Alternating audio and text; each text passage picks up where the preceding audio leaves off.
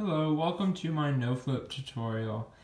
In this video, I'll be giving a brief overview of the no-flip method as originally proposed by Matthew Sheerin. I will also be talking about how to solve from multiple angles and how to do simultaneous turns. You can learn this at any skill level. You can even average 15 seconds.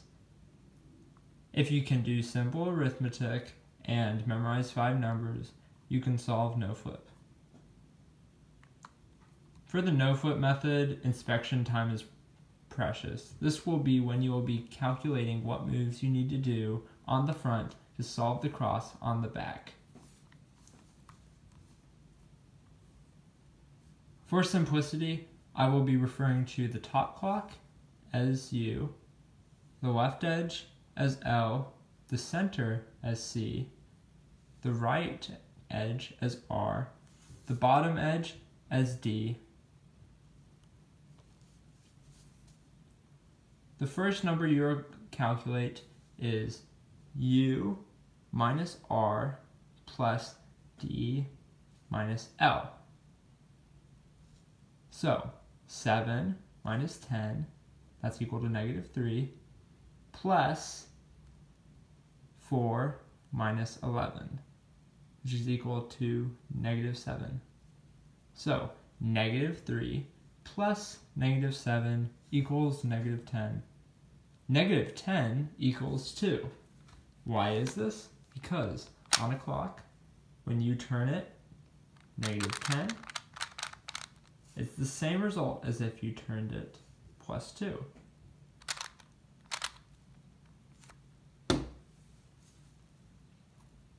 The next number you will calculate is M2. M2 is L minus D. So 11 minus 4, which is equal to 7. 7 is equal to negative 5 because if you do plus 7, it's the same result as if you did negative 5.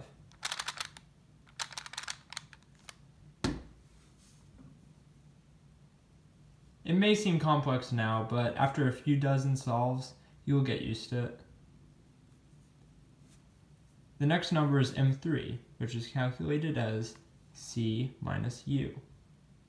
So 8 minus 7, which is equal to 1. Then you calculate M4, C minus L. So 8 minus 11 is equal to negative 3.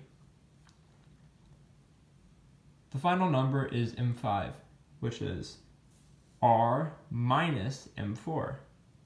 So that's 10 minus negative 3, which is equal to 13. 13 is equal to 1 because doing a 13 is the same result as doing a 1.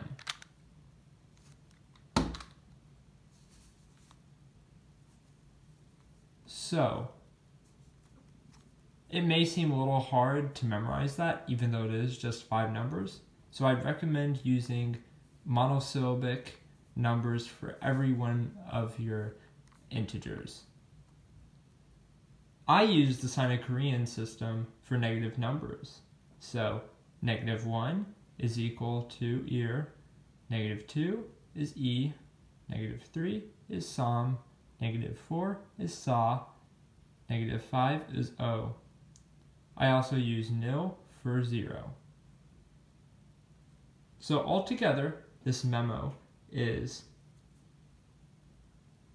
2, o, 1, som, 1. The final number, M5, I usually just visually memo, though.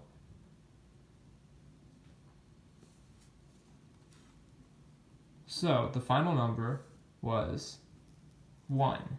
So visually, I can know that that just means I move this one by 1. You can execute M5 whenever two diagonal pins are down, and execute it on a wheel that is down. For this, you can execute it here. One. And then I can solve the center edge to this edge as usual. Then you can proceed normally for a while. So solve those. Then I can solve these to match this. And now we're back to doing actual no-flip stuff. So, M1 is 2, so 2. And then I solve these to complete the cross. Next, I do M2, which is negative 5.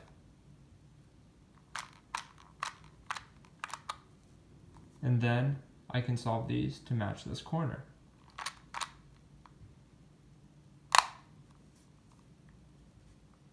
Then M3, which was 1, and then solve these to match this corner. Next, I have M4, which is negative 3. And I can solve these to match this corner again.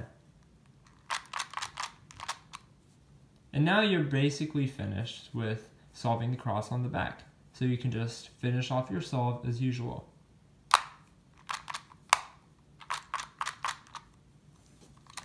And it's solved. Now, how do you solve from different rotations? Well, it's pretty simple. It's basically the same except for your calculation for M5.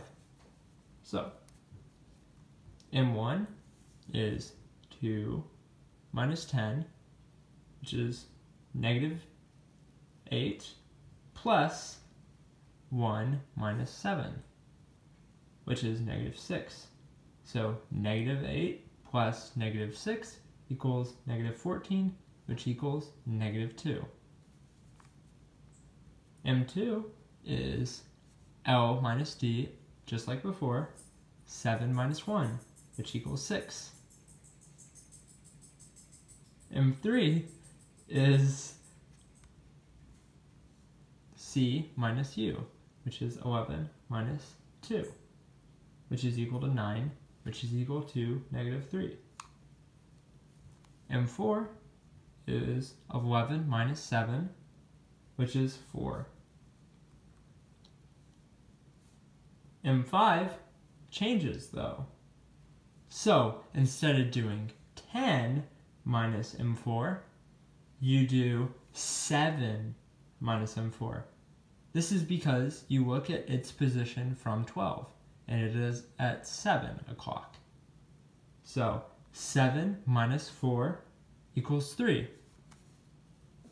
So that memo altogether is E6 sum 4, 3.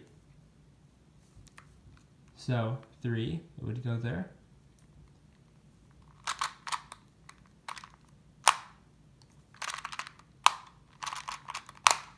E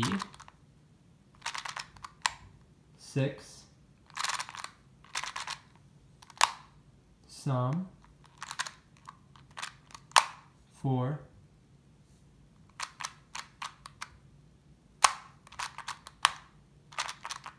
and you're solved. If you're an astute observer, you may have noticed that doing the turns on the back does not require you to change the pins. This means that you can turn both the front and the back at the same time. You can use this to your advantage in solves by executing the numbers you memoed on the back at the same time as doing the moves on the front. How do you do this though? How do you become good at it? Well, the answer is one you'll probably hate. It's practice. After a few hundred no-flip solves, you'll find yourself gradually beginning to do it just without even thinking about it. If you don't, however, I'd recommend practicing doing moves simultaneously. Like that. Try doing slow solves where you use simultaneous moves. Over time, you'll become good at it and become comfortable with it and be cool like me and Tommy using no flip with simultaneous turns. I hope y'all enjoyed this video and found it helpful. I'll make more videos in the future on more advanced tricks you can use in your solves for no flip. This is in no way optimal or the best way to do no flip. This is just what I think is best for beginners to start with. Yeah, see y'all.